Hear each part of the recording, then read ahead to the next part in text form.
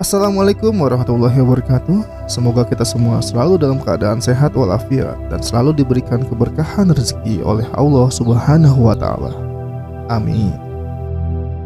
Nabi Muhammad adalah seorang nabi dan rasul terakhir bagi umat muslim.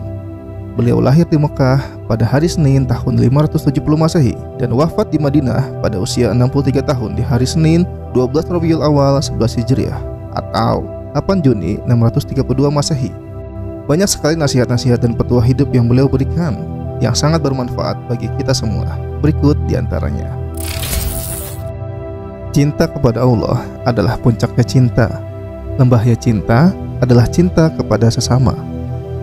Tidak ada dua hal yang digabungkan lebih baik daripada pengetahuan dan kesabaran. Yang terbaik di antara kamu adalah orang yang tidak menyakiti orang lain dengan lidah dan tangannya.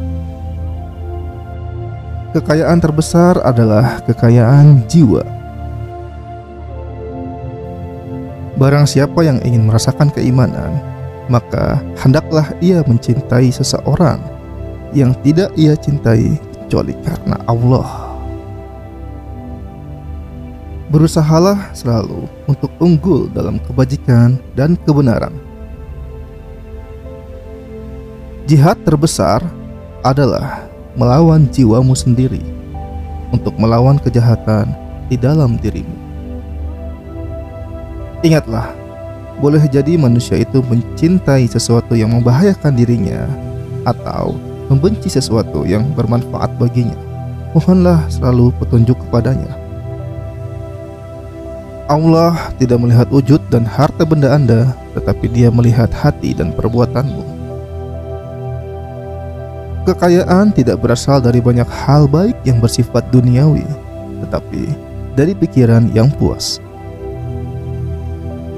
Rumah terbaik adalah rumah yang di dalamnya terdapat seorang yatim piatu yang mendapatkan cinta dan kebaikan.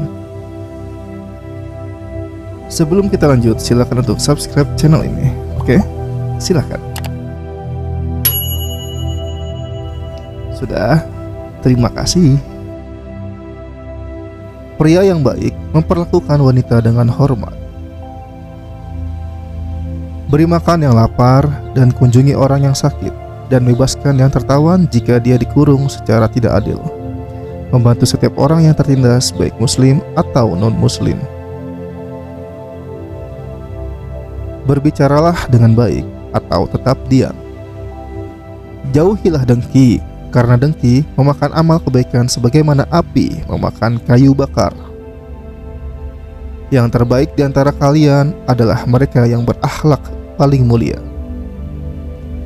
Barang siapa yang tidak mensyukur yang sedikit, maka ia tidak akan mampu mensyukuri sesuatu yang banyak. Lihatlah orang-orang yang di bawahmu dalam urusan harta dunia, dan jangan sekali-kali melihat yang berada di atasmu, supaya kamu tidak meremehkan karunia Allah yang diberikan kepadamu. Ketika suami dan istri saling memandang dengan cinta, Allah memandang dengan rahmat. Ulurkan cintamu karena Tuhanmu dan tariklah cintamu karena Tuhanmu. Kamu tentu tidak akan kecewa. Cintailah seseorang sewajarnya saja karena bisa saja suatu hari nanti dia menjadi musuhmu dan bencilah seseorang sewajarnya saja karena bisa saja suatu hari nanti dia menjadi seseorang yang kamu cintai. Ketika Anda melihat seseorang yang telah diberi lebih dari Anda dalam uang dan kecantikan, maka lihatlah mereka yang telah diberi lebih sedikit. Tahukah Anda apa yang lebih baik dari amal, puasa, dan doa? Itu adalah menjaga perdamaian dan hubungan baik antar manusia karena pertengkaran dan perasaan buruk menghancurkan umat manusia. Yang terkuat di antara kamu adalah orang yang dapat mengendalikan amarahnya. Terima kasih telah menonton video ini. Jangan lupa subscribe, share, like, dan komen. Semoga bermanfaat. Wassalamualaikum warahmatullahi wabarakatuh.